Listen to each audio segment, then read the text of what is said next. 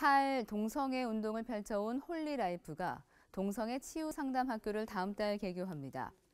과거 동성애자였다가 신앙을 통해 동성애에서 벗어난 이요나 목사는 오늘 기자회견을 열고 한국교회가 동성애자들을 혐오하고 반대할 것이 아니라 그리스도의 사랑으로 치유하는 일에 나서야 한다며 학교 설립 취지를 밝혔습니다. 다음 달 5일 개강하는 동성애 치유 상담 학교는 동성애자들을 대상으로 한 치유 과정과 이들을 위한 상담사 양성 과정으로 운영됩니다.